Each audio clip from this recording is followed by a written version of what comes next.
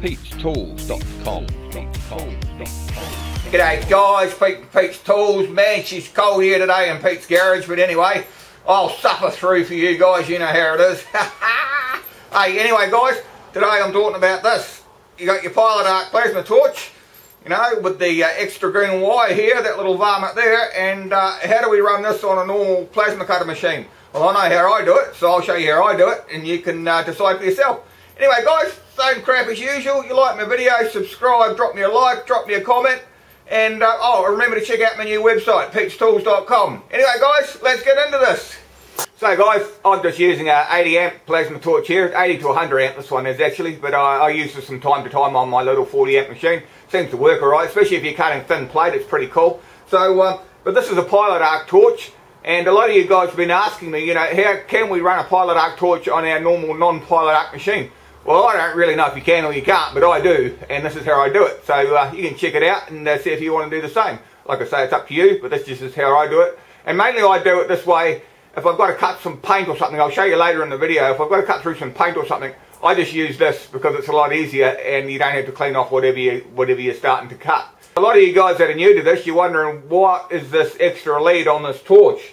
See, like this is normal. This is this is where you plug your ear into your machine and this is where you plug your little um, your little switch goes in there you know for your off on switch on your on your trigger here.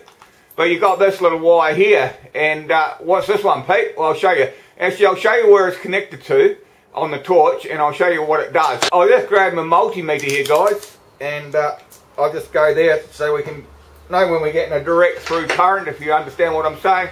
Like if I uh, touch these two wires together like this see what the meter's doing there? We're reading 001. Uh, 000, as you can see 000 now, we're right through. And so that just means we've got a complete circuit. So if we grab one of this wire here, the little green bum, like I showed you, and we put one of the leads on here, and if I touch the other lead on here, on the uh, tip of the cutting nozzle, see how we're getting a complete circuit through there now? See that? It's uh, like a dead short. So what that's telling us guys is that this green wire here is connected to the actual cutter itself, to the cutter head, not to the electrode. Here, I'll pull the torch bits and I'll show you. So if I quickly pull this torch bits, guys, I'll show you where that wire goes. It doesn't go to the electrode, it goes to the tip, the cutting tip.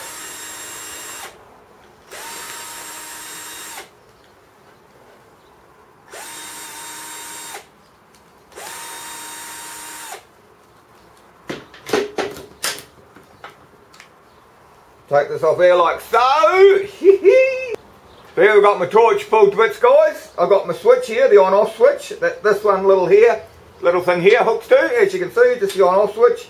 See this green wire here that we were talking about before? This is where it connects into here. It connects into the torch head here. And the connection here is connected to the actual cutter tip, not the electrode. I'll show you. Cutter tip, electrode. So if we grab my little doodad again and we measure this, we'll see what happens. So if we get the multimeter and we put one on the green wire here and one on the electrode, see what happens to the meter? Absolutely nothing. Because it is connected to the tip. The tip makes the contact, if you understand what I'm saying, just to prove that it still works. See if I go like that, see we've got a direct short there. So put it on the electrode, nothing. So what it's telling me is that it's attached, the circuit is connected to the tip. And the tip screws into here. So if I touch that, that'll go straight through like so. See so what I mean? Put, so I'll put the torch back together, guys. And uh, this little green wire, you're saying, well, it was a bit of useless information, Pete. Well, on a plasma cutter that's pilot arc, you've got a place on the front of the plasma cutter where you can screw this wire onto. But if you haven't got a pilot arc plasma cutter, you haven't. Anyway, I'll show you my plasma cutter, and then I'll show you another plasma cutter that has it, and then uh, you'll be able to see the difference. So here's my machine here guys, as you can see it doesn't have the extra thing here to put the wire onto. As you can see this one guys, is where you put the uh, wire there where the circle is. So how I get around it guys, you know how you got your earth lead that you clamp onto whatever you want to cut right, and then the other end of it plugs into your plasma cutter machine and it's got a Dinse plug on it like that. See these plugs here, they're called Dinse plugs. Hey, I've got some uh, videos about Dinse plugs up the top if you want to check them out. It's an easy way to extend your uh, welding leads and that sort of thing. So check that out too if you get a chance. But anyway, Pete, I uh, digress. I modified the end of this plug so I've got somewhere to put that green wire that we were talking about before that gives us a pilot arc. Anyway, I'll show you how I do it guys. So all these Dinse plugs are the same, right? And they'll plug into your machine. It's all much the same. It's just different sizes. You get big ones or small ones or whatever. This is just a little uh, 1525, I think it is. That's the size of it. So what I do is I just modify this plug, guys. So what you need to do is grab some pliers or something and pull the shielding back on the thing. You're going to have to twist and turn it a bit to get the bloody thing out because they're in there quite solid, like that. See that? And all that is there is it's got a little grub screw there, and this is the fitting that goes into your machine, and that's on your on your earth wire. So uh, what I do is just modify this, guys. And to modify that, I just go into my box of bits and pieces and nuts that I've saved up over the years and try and get something that'll fit in here to so we can modify it. Anyway, stop waffling, Pete, and just get on with it, eh? Then what you need to do, guys, is go into your box of bits and pieces. I've got a box like this with all sorts of different sort of crap in it. And try and find a, a length of rod, about that long, or threaded length of rod, that will screw in here. That's what we're looking for. It's got to have the same thread, of course, but it's got to be, you know, about an inch, inch and a half long, you know, about yay long. So we'll see what we've got.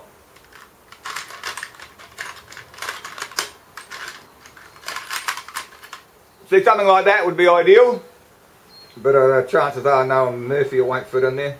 I won't screw in there properly. It just binds up. But that's not going to do me much bloody good.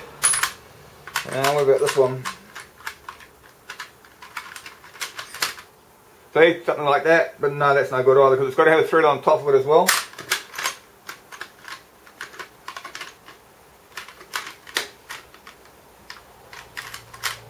This funny looking thing here, I don't know what the hell it is, but it's got the thread on both ends, wonder if it'll work. Yeehaw! We got one! I mean, that's pretty tight in there too, actually. But hopefully it'll work. wonder if I can uh, just check that, guys. Yeah, that'll go in there, I think. Yep. See that, guys? It goes all the way in there.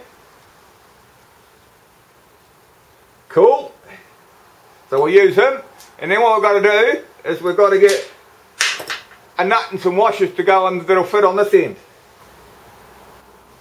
So I'll grab another box of tricks and we'll see what we've got in here, eh?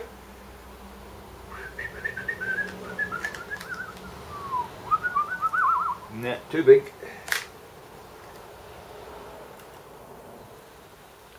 Try this one. Oh, look at that, guys. We finally found one. Yeehaw! Get a couple of washers as well.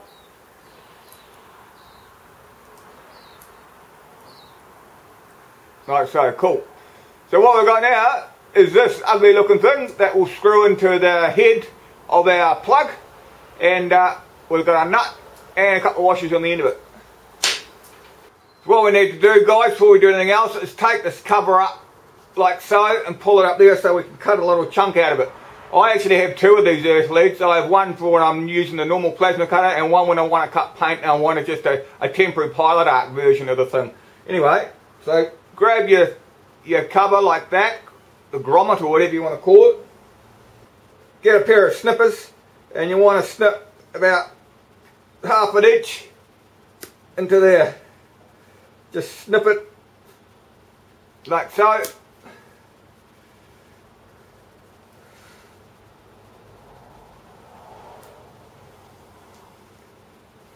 just down past where you see the ridge, you'll see the ridge here on the moulding. I just normally just go a little bit past that.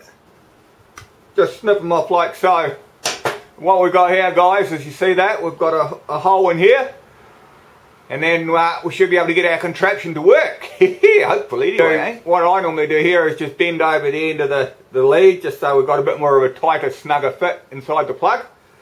And then grab your um, grab your little plug like we had originally, the one that we pulled the grub screw out of, put the wire in there. You might have to, depending how thick your wire is, you might have to twist it around a bit to get them in there, because this is quite a heavy lead, this one. So what you want to do is force as much wire up there as possible. you don't want too much gap between the end of the plug there and the start of the, of the braid. See how we've got it looking like that guys? See that wire is all the way up there? It's, it's pushed up as hard as I can get it. Then what we're going to do is this contraption that we found, we want to screw that into here.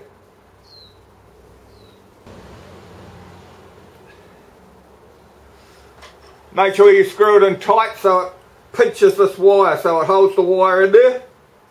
Tighten them up. You might have to put a pair of pliers or something on the other end of it just to get a, a bit of leverage on it.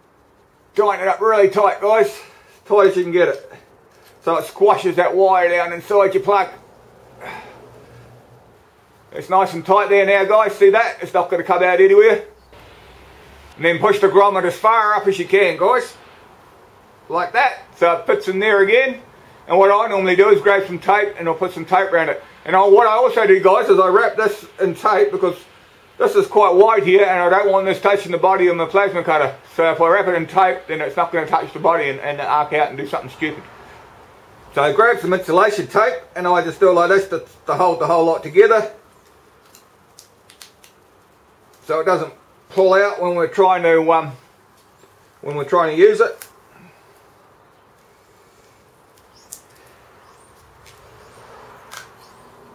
And like I said, I also go up here to stop it from shorting out on the side of my machine.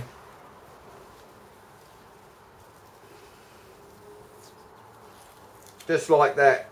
We end up with something that looks like this guys. We've got our rod here with our nut on it like that. It's attached inside the plug to the lead and then uh, that is the plug that goes into our machine. So now I'll go and hook up the Pilot Arc plasma torch to my non-Pilot Arc machine and we'll see if it actually works, eh guys?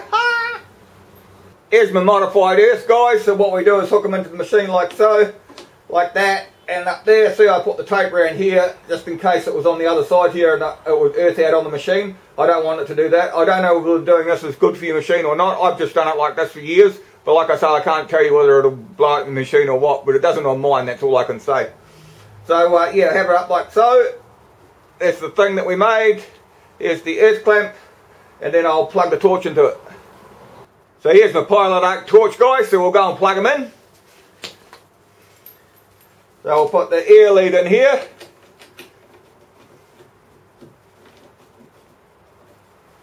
We'll put the switch in here. Do them up. Then this little green wire we were talking about earlier on, we'll put them on here.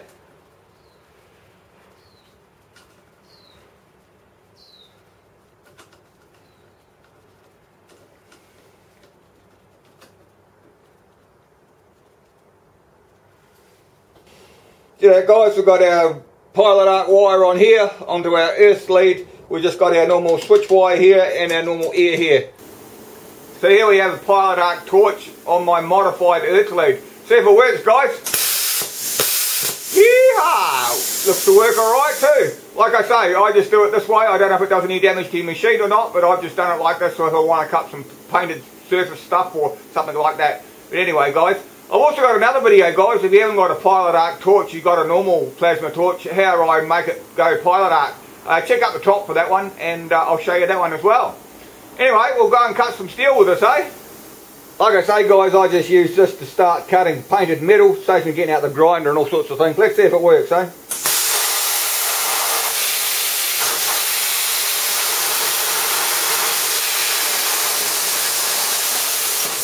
Perfect. Beautiful.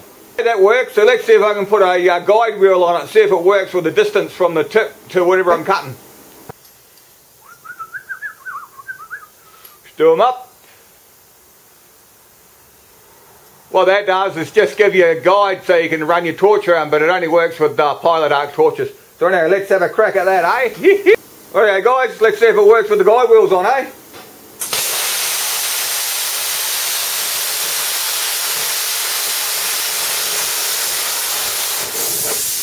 Looks like it to me.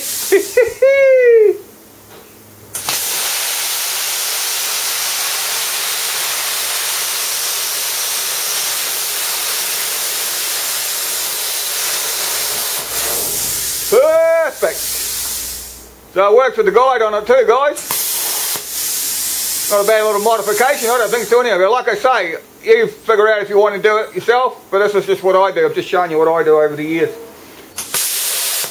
So guys, that's the little modification that I do anyway, for what it's worth. Drop me a like, drop me a comment, you might have a better way of doing it. Also, if you want to try and convert your non-pilot arc plasma torch into a pilot arc one, just to cut through paint and that, I've, I've got a video how to do that as well. So check the uh, links down below guys, and we can sort that out for you. Anyway, same crap as usual. If You like my video, subscribe, drop me a like, drop me a comment, and uh, oh, don't forget to go and see me at my uh, new website, petestoolz.com. I'll drop the links down below for these plasma torches and other bits and pieces and those plugs if you guys are interested. Anyway guys, till next time, see you later. Pete'sTools.com.